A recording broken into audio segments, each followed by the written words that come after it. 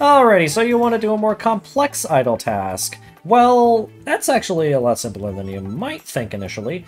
Uh, it might be a bit daunting at first to do like a whole task like sleeping or something like that. However, uh, once you really get down to it, it's more or less just make neighbor move to spot, play animation, set some variables if needed, uh, play other animation, uh, randomize task. That's pretty much how the entire uh, system goes when you really get down to it.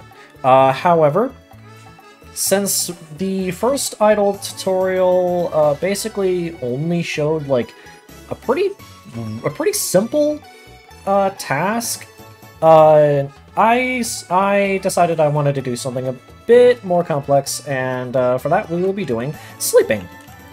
Uh, so, firstly, we're just going to go into the SOSD uh, folder, go to Blueprints, Behavior, Tasks, Idle. We're just going to duplicate this and call it BT Task Sleep. Okay, cool. And uh, we're just gonna delete all this, because we don't need it right now. Oh, and silly me, before I forget, we have to make an actual, like, bed object. So we're just gonna go to Objects, BP Objects, we'll create a new Blueprint Actor class and call it BP Bed. Now, by default, we're gonna look, go into the tags here, add one called neighbor. This is important. This is this is actually like the most important part of the entire thing because the reason why we're why we're adding this tag is basically we're going to use this uh, node get called get all actors of class with tag. And it'll just be the same exact thing, neighbor. So what this is going to be doing is it's going to get every single actor of the class BP bed, in this case, with this specific tag. And this will allow you to uh, dynamically, like, well, not dynamically, uh, basically choose which beds you want the neighbor to be able to sleep in.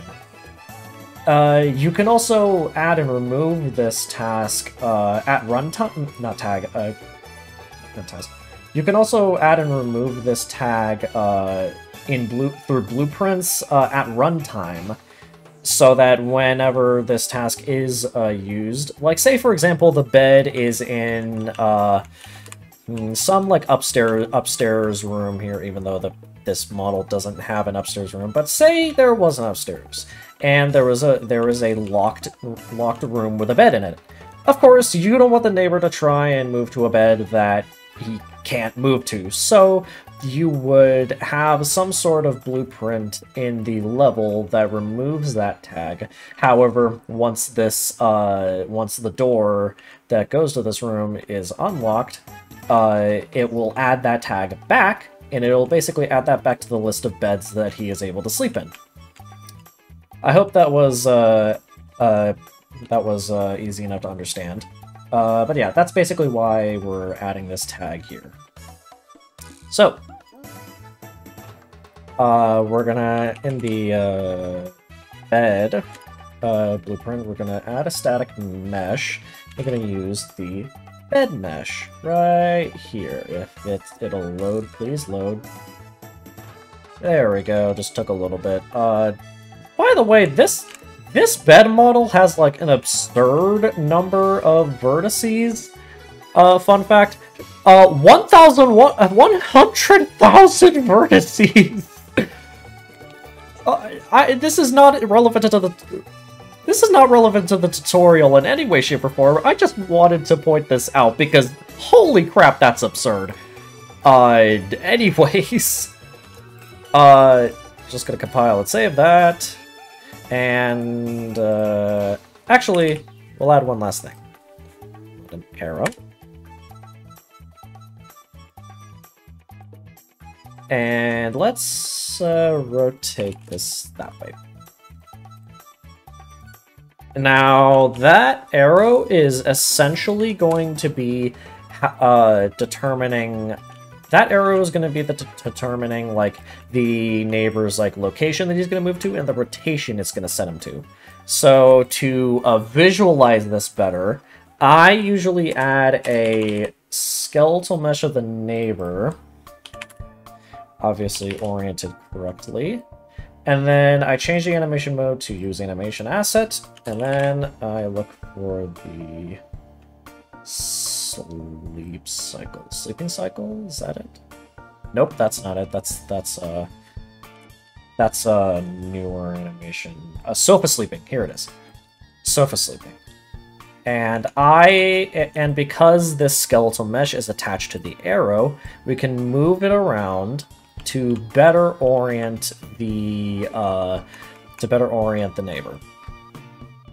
Uh, I think it'll only allow him to move this close. I have had problems in the past where uh, the uh, navigation doesn't go as far as I want it to. So, in order to fix that, what we can do is we can uh,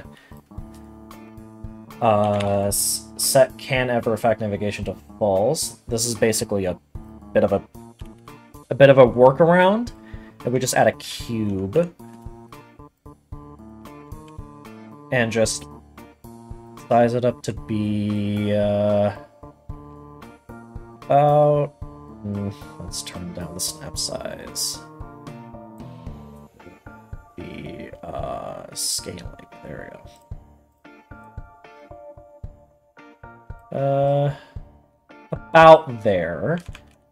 However, in the X values, we'll just set this to like right here. We'll turn off the visibility so it doesn't actually affect, uh, it just so it doesn't actually like render. So that way, we place a bed here. It doesn't actually, uh, I, hmm, maybe I, oh, whoops. Maybe I just raise it up. There we go. Uh, hmm, it's still It's still not exactly... Uh... Oh wait, I forgot. I'm gonna have to turn off the collision as well. Uh, I'll just set it to custom just so we can turn off everything. Uh, no collision. Uh... Hmm. Gosh dang it. Uh...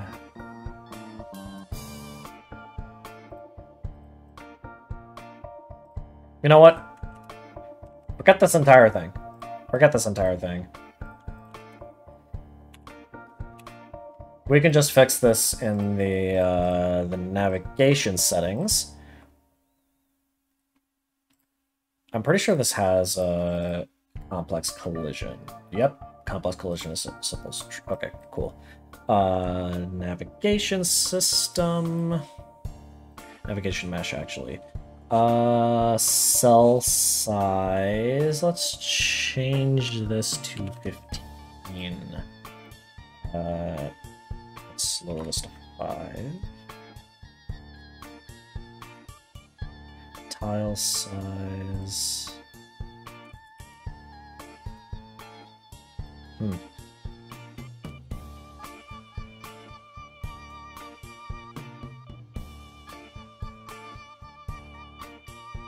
I forgot how to fix this, actually. Oh my gosh, I think I think that was too low. I think that was too low of a number. I think that was too low of a number. It's lagging my engine. Oh, goodness gracious. Okay. That's better. That's better. Okay, never mind. I didn't forget how to fix this. Okay, so changing the tile size to a lower number will actually allow the navigation to the navigation mesh to uh, be more accurate. However, you do not want this uh, to be too low because this does affect performance. Uh, it doesn't affect the performance. It doesn't affect. Blah, can't talk today. It doesn't affect the performance right now. However, in a, another tutorial that hopefully we'll be releasing later today, uh, or at least later after uh, this one gets uploaded, uh, we're going to be setting this runtime generation from static to dynamic. And that's for, uh, that's going to be for uh, the doors. Uh, so, however, we're gonna keep it static for now because this isn't actually needed. Needed. Uh, actually, I'm gonna change the tile size back to like five. Three seems a little. Four. Sure, let's keep it at four. Okay, cool. Just save the level really quick, and let's go ahead and delete the skeleton mesh. Okay, cool. Now we got our bed set up. Now we gotta set up the actual task. So, get all actors of class with tag, BP bed, neighbor. We're gonna gonna do. Oh goodness gracious! No, that node isn't in uh, Unreal Five. Okay, then I guess we're gonna. Then I guess uh, we might as well put this in a in a function. Call this get bed.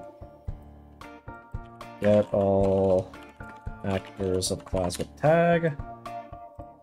BP bed. Neighbor. Oh, whoops. I miss I accidentally put a space there. For each loop. Or actually, no, not a for loop. We're gonna get a copy. I'm gonna do random integer in range. last index. The minimum being zero and the maximum being the last index. So this is just going to get a random bed with this tag, essentially. So let's do a return node. And just put that there. Call this return value. Or actually, found a bed. Drag and drop that in here. There we go. Simplified into a function. Just a general rule of thumb, any simple thing like this, you any simple like thing like this, you will want to put into a function just to make the overall blueprint a lot more uh, a lot more clean. Uh, if reroute nodes are if you're creating one too many reroute nodes. Uh, anyways, so add a Move To. On is going to be the neighbor. Node. Found bed. We're to get the arrow. Let's move this over here. We're to do get world. Why can't I type today? Get world location. There and this will make the the neighbor try and move to the bed, uh, the bed, or specifically the bed's arrow location. So uh, let's go ahead and uh, put that into the behavior tree before we do anything. Sleep. Blackboard key is equal to Oh, we don't have that one. Okay, cool. Let's go ahead and add that. Uh, sleep bed. Specifically do sleep bed.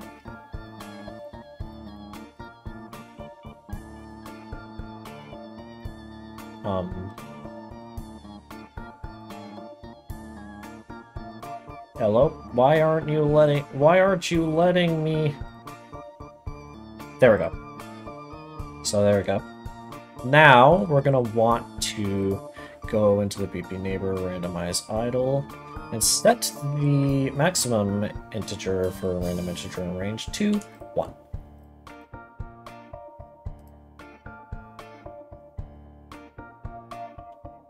Or 2, actually.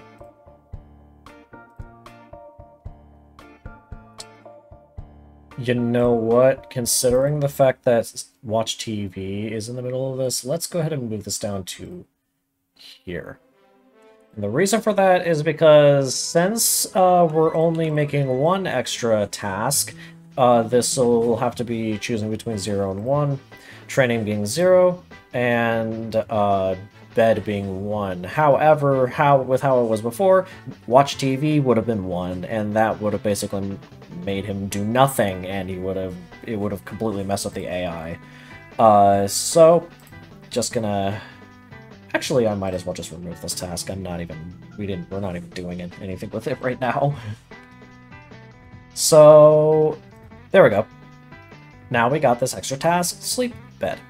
Now, whenever we uh, press play here, uh, let's go and simulate. Why is he not going over there? It's not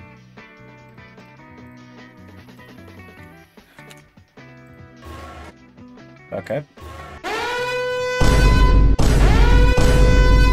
Oh, ah, ah, I for I forgot.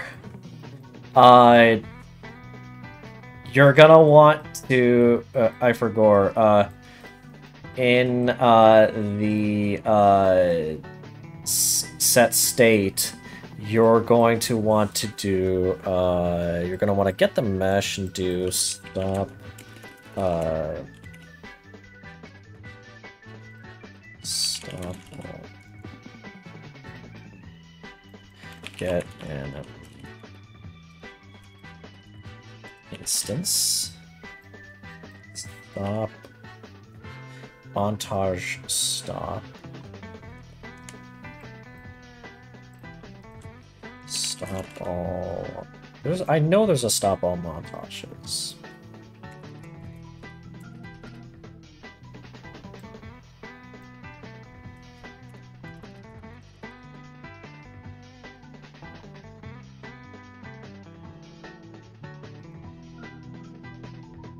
Eh, whatever.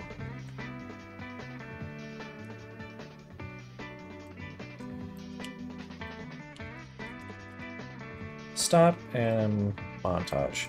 You're gonna wanna you're gonna wanna run this because um because uh, if you don't, uh, he'll just play the animation while he's chasing you, which is not ideal.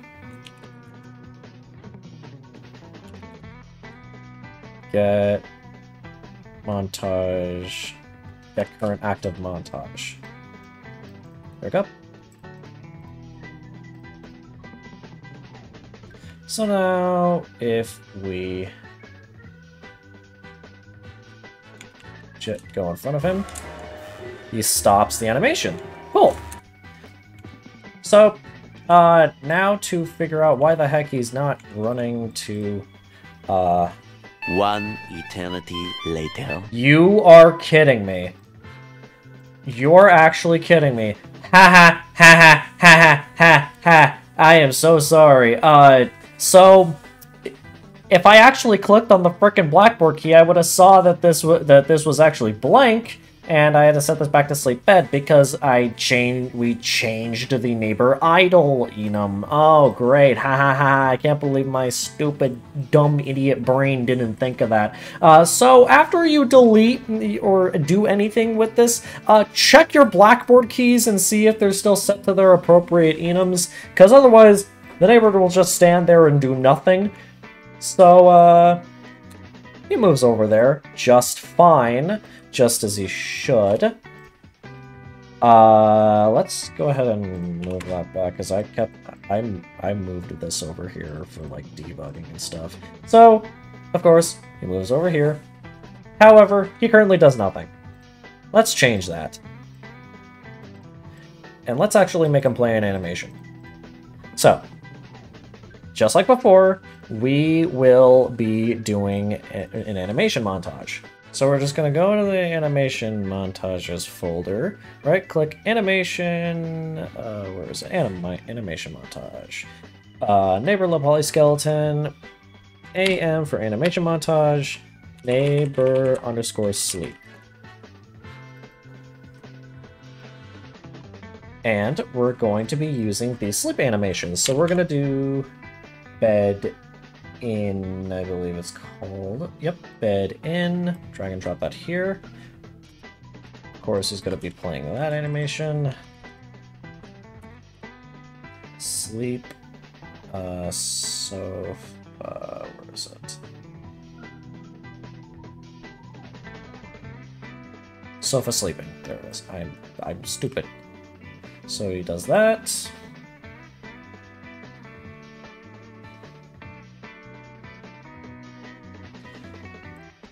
And then we're gonna do bed out. So bed then we do stand up. So then here. However, as you can see, there are two completely different rotations. Uh there are a couple different ways you could fix this. Uh, I wish there was just there was just a way to change the positioning of the uh, there was just the a way to change the positioning of the uh, of certain bones here. However, that is unfortunately not the case. And so we're gonna have to do some pretty, uh, pretty cookie cutter uh, solutions. And uh, literally all it is is just is just changing uh, the neighbor's position, or, or, just changing the neighbor's look, uh, rotation the second this uh, animation plays. Uh, so we're gonna add a montage notify here, just like before. We'll call this, uh, or actually, let's go ahead and make different segments, or sections, I guess. Uh, sleeping. Default, let's change this back to start. Or actually, default is fine. Default is fine. Right click. Wake up. Go right here, because this is him waking up. And then stand up.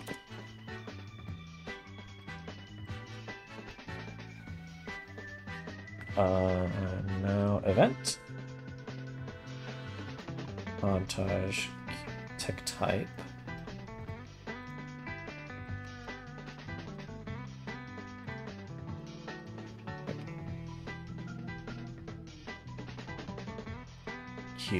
There we go. So uh, this notify name is going to be called uh, rotate. So that way, when we uh, do this, it's going to it's going to detect, hey, it's time to rotate, and it's just gonna it's just gonna actually. We could just remove the stand-up section in general because obviously it's gonna be it's gonna be playing these one after the other anyways. So Let's finally let's add a uh, another montage notify. One last one. Let's just do call this uh, choose. Right at the end here.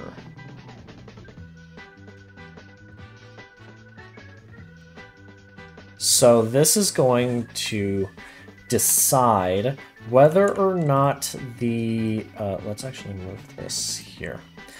This is going to decide whether or not it's going to... he's going to wake up or continue sleeping. And for each section, let's just remove...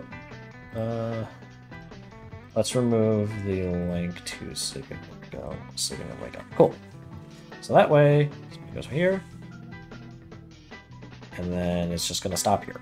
So, now we are done with this animation montage, and we could go back to the task.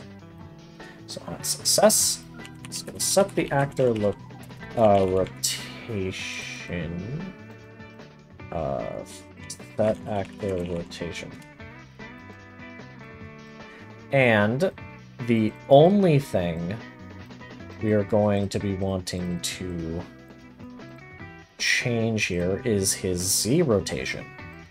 Uh, just so that you don't end up with a bug with the same uh, bug in, in my pre-alpha remake where you could just where you could just rotate the neighbor just by rotating like objects like the TV. uh, anyways, so we're gonna do get world rotation, split the struct pin, and just get the Z, Z rotation. And then we're gonna do, we're gonna get the mesh, the neighbor's mesh. Play montage. And then a neighbor's sleep. Start section is just gonna be default.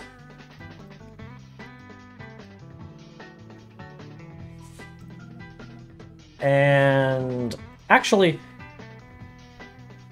actually, uh, no, no, no, we're fine. So, anyways, I thought I thought we had to do something extra, but no, we don't. Okay, so notify name. We're gonna do the same thing we did before. Switch on name. Uh, let's go ahead and open up the animation montage first, so we know what these are names. So that's called choose. That's called rotate. Okay, cool. Rotate. Uh, rotate. or choose. Uh, let's go ahead and make this a function, actually. Randomize sleep. Branch. And then we're gonna do random integer. And the max, let's make it... Wait. equal to zero. It Doesn't really matter which number you choose, just as long as it's as it's within the range. And true. Uh, actually, just so we don't have to use a bunch of reroute nodes, let's go ahead and make this a variable. Neighbor. Move it on over here.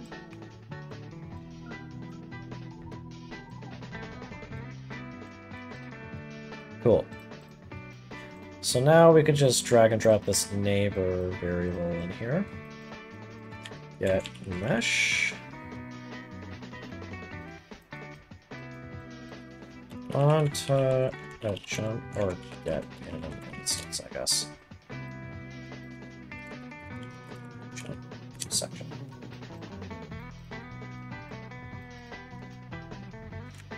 You know, just to make uh just to make this a bit, make this easier for us, let's make this loop back to sleeping. So that way, he'll just loop the animation, and then we'll just jump to the uh, to the wake up section when if the if the uh, blueprints uh, so chooses. So this is true. It's gonna get the anim instance, and it's to make the montage jump to section. Set this to neighbor sleep. Section going to be called going to be wake up because this is going to determine his chance of waking up at uh, after playing this animation.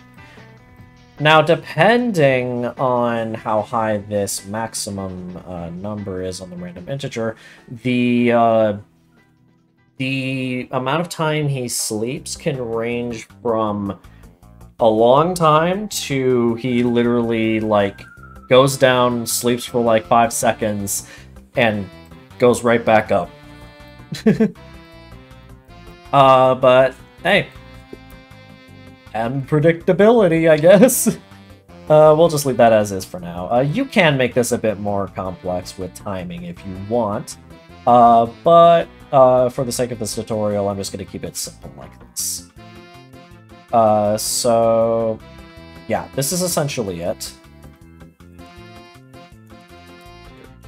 Actually, we don't need a return. Uh, this is basically it. Uh, if this is equal to zero, then it's gonna jump to the wake up section. Cool. And then for choose, gonna do that. And then for rotate, we're going to get the neighbor, set set actor rotation once more. And then we're going to get his current rotation, get actor rotation. And we're just going to add 180 to an 80 to it to make him just flip to the other side. Add 180. And that is pretty much it. I believe. So, let's go ahead and press play. It's over there. Plays the animation. Sleeps.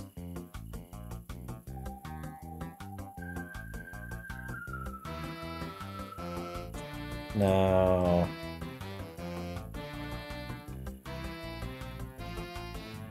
This is triggering, I believe. Uh, let's actually do a print string here.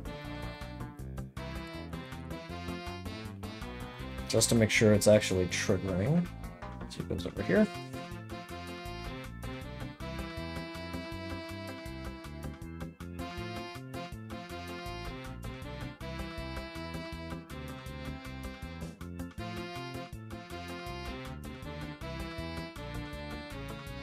It's not triggering. Why is it not triggering?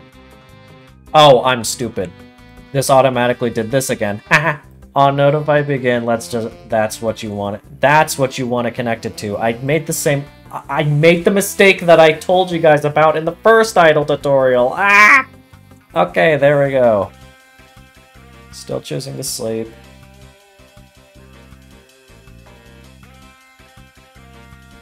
Let's actually change the uh, chance and just make it down to like 5 or something just so...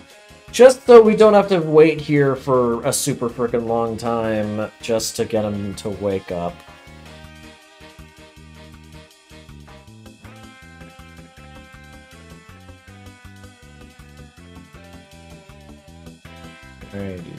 Alright, wake up.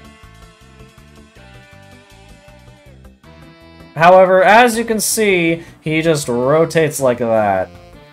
Which, unfortunately, is a... is the, uh... is actually the, uh... the cause of the animation here. Because I'm pretty sure his root bone is rotated, and because of that, he just causes that rotating to happen. So unfortunately, for now, we're gonna have to set the blend out time to zero, just so, just so he doesn't actually like spin around like that. Uh, so, uh, this is actually, this is literally it in terms of like animations. Like, he starts sleeping, then, eventually, he will wake back up.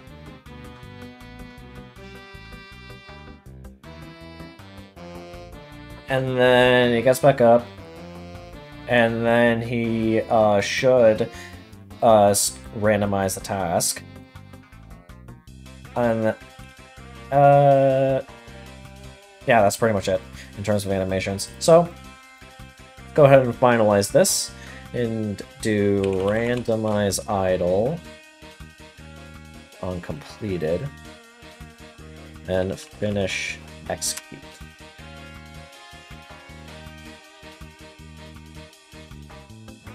So, let's go ahead and test it. Goes to the bed, starts sleeping. He gets back up. And then he randomizes it again, but he just he just chooses to go to sleep because I set it to I set the minimum to one because I just wanted him to always choose uh, sleeping just for debugging. Uh, however, we're not done yet because if you actually uh, actually let me let me do current camera location. If you uh like sit down actually like uh if you would notice if we go anywhere near him he still chases us despite the fact he's sleeping. So we're gonna have to change that. In here we're gonna make a new variable called sleeping. Let's bring that into the gameplay or actually AI. Let's move that into AI. By default, it's going to be set to false, of course. However, we're going to want the AI perception. We're going to want him to only chase you if he isn't sleeping. So, trigger attack, top player is not true. Can't player.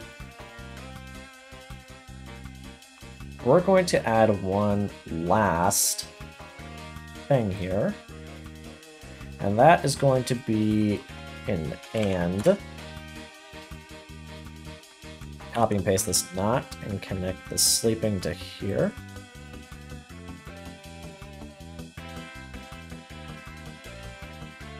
So it's going to... So it's going to check if uh you know what? Actually actually that's that's actually i don't think that i don't think we should do that. Because then if he's if he's not if he can't see you but he's sleeping doesn't really make any sense for well i guess he would already be and you know what you know what? I am overthinking this severely overthinking this uh, don't listen to me. Keep it that like this. so it's going to check if, it, if he can see the player, how, but it's also going to check if he is not sleeping. And so now, all we have to do is add one last montage notify. Call this sleeping.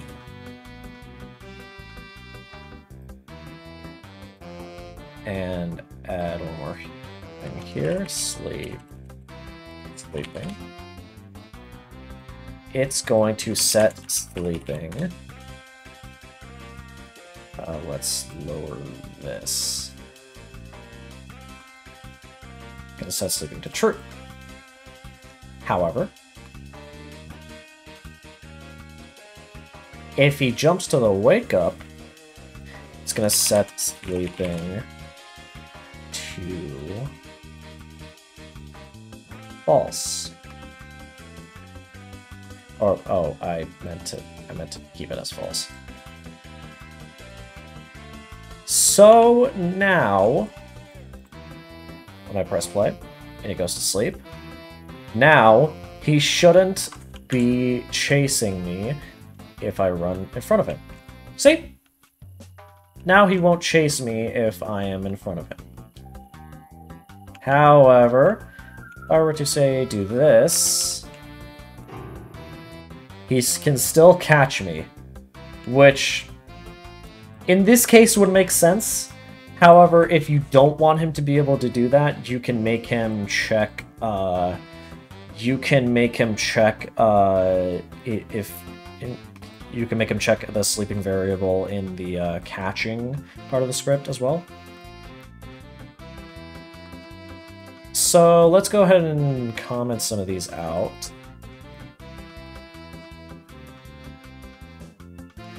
Let's go ahead and comment some of these nodes out just so that we can stay a bit organized. get bed. Move to bed.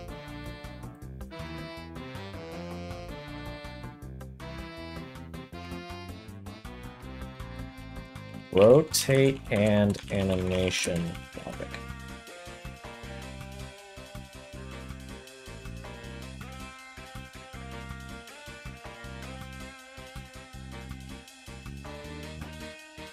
Finish task. Let's go ahead and bring this out. Oh. Hey! There we go. Go ahead and bring this all the way out over here. And there we go. That is how you, uh, that is how you do a more complex task like sleeping in, in bed. Uh, it is pretty much the same thing with watching TV. You just make him, you just make him move to the TV, into the TV uh, arrow's location. You, I mean, you, I could literally do that uh, another tutorial if you'd like. Uh, uh, but anyways, it's literally just move to the TV's arrow, set his location, well not location, set his rotation, play an animation montage, do some logic with with uh, montage notifies and all of that. Then, once he's done playing the animations, uh, finish the task. That's pretty much it. I hope this uh, helped you more with idle tasks, and I hope to see. I, I hope to see you guys uh, creating uh, more stuff like this in the future, and I'm excited to see what you guys come up with. I'll see you in the next one.